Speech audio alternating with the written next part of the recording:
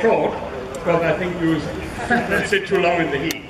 Good morning, and I think it's a great day. to look, uh, we brought all these in the sun back, uh, especially for our Friends from Manchester United.